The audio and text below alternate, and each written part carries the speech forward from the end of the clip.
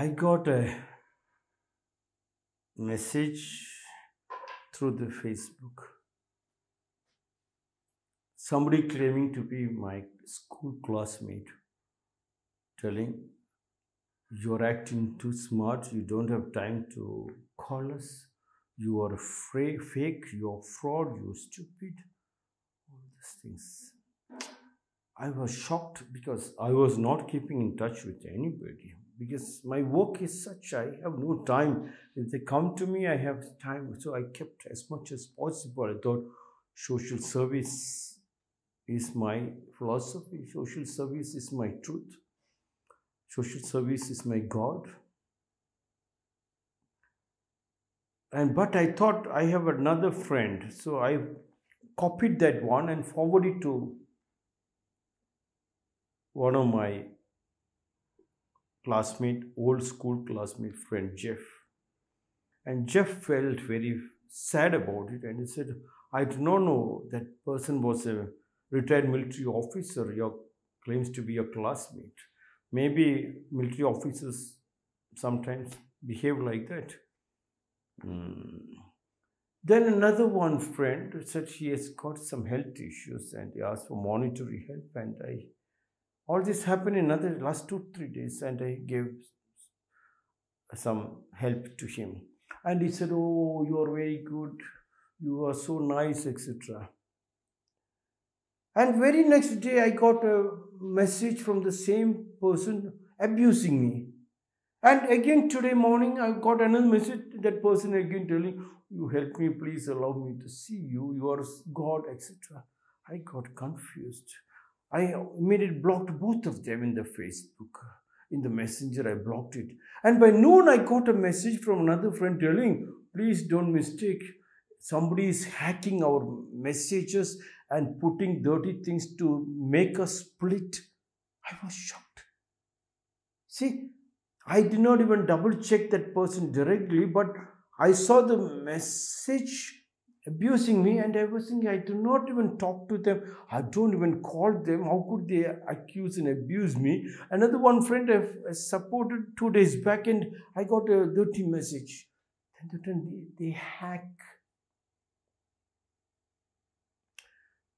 So what I'm trying to tell is that kitchen talk segregated the our people from our family by listening to a third person drop that and then turn back to look how much you were able to understand us before you could decide. I'm telling my children, Makla, you got angry, you threw your breakfast into the dustbin because seniors shouted, Do you think you have thrown the uh, food into the dustbin? You have thrown my food. Your voice should be my, my voice. When you move out and you talk, it is like Rakum School talking. Every word from, from the school, anybody talks, it's Rakum School talking.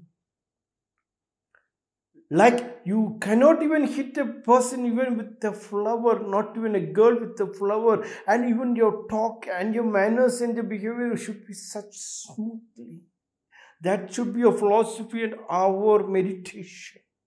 And that smoothness is the love, and love can move mountains and oceans. Alexander Ivanovich Herzen born on 6th April 1812 in Moscow in Russia, died on 21st January 1817 in Paris in France was a Russian writer. When I say Russian writer in 1812, Russia and Ukraine was one family, same mother's children, two brothers, Putin and Ukraine president.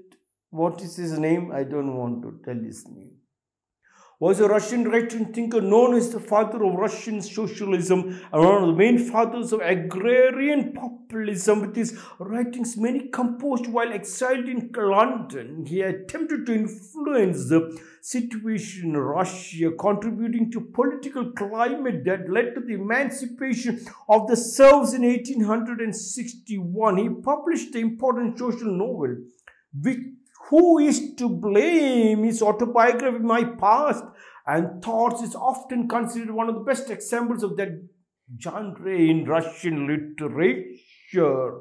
Alexander Ivanovich Herzen said, One must open men's eyes, not tear them out. Yes. In the villages, when fight opens, it's a fist fight. But then the city people telling, we are so much developed, we are literate, so our talks goes, yes, dialogues goes before we hit. But the dialogue is holding on a huge amount of terrifying weapons in the world to destroy the whole human race. If the, the educated class, the Americans, the NATO, the educated class, the Russians and the other people can hold on such a huge amount of weapons, which they call it literate class. What kind of dialogue is that? One must open one's eyes to open the women's heart. You must first allow, You must sit next to her. Even to for a plant to grow to get the best fruit, if you sit. But don't tear them out. Like the golden egg story, hen was laying a golden egg every day. And the house was enjoying.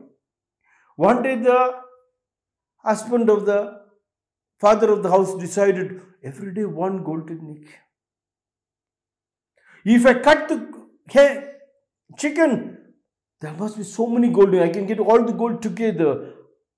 So he caught the hen, even if the wife and children cried, he cut the chicken, the hen, and cut open. He couldn't find any gold. That every day is, don't tear your wife into pieces. Open your eyes to see her eyes, the nose and the ears. Love. Love can move mountains. If Putin is understood, and who's that um, person, the American president's name? What is his name? That old man?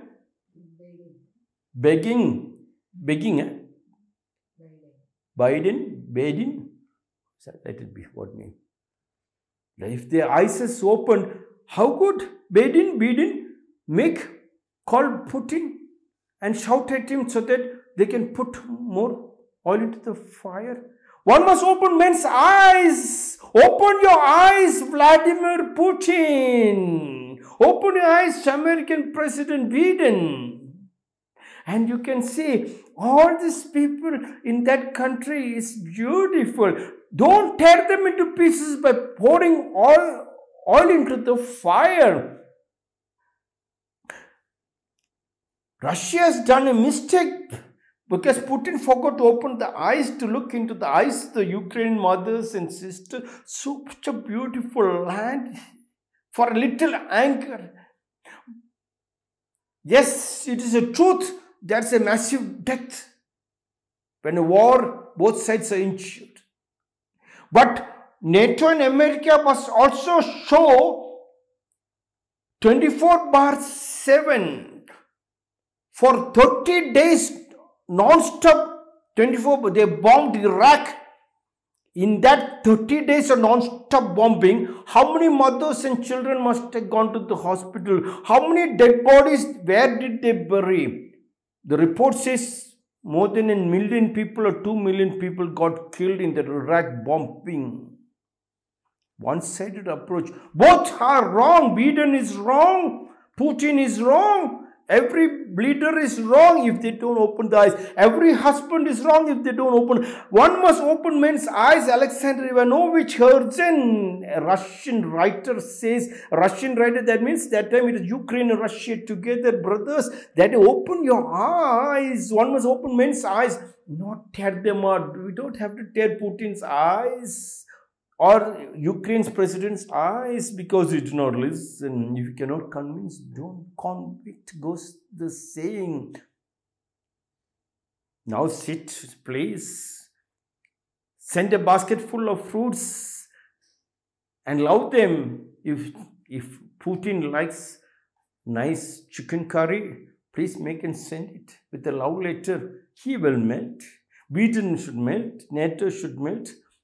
I am requesting NATO and other people, don't put oil into fire. Putin, listen to me, Mr. Putin, Vladimir Putin. We love you.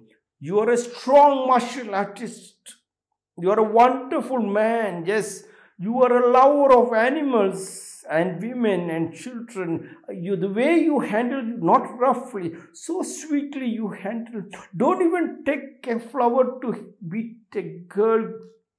Goes the saying, Putin, stop it. Nothing will go wrong. Just drop your pants. Just nothing will happen. Like how you're going to go to swim. Just drop your pants and swim. You can see the beauty, the love of the mothers. And the Western world don't continue to throw because you wanted to practice all the weapons is lying down on your backyard. You don't know what to do. There's no space. So you're practicing in Ukraine. Stop it. Alexander Ivanovich Herzen said, One must open men's eyes. We didn't open your eyes. Not tear them out. Putin, don't tear them out. Love them. Love move mountains and oceans.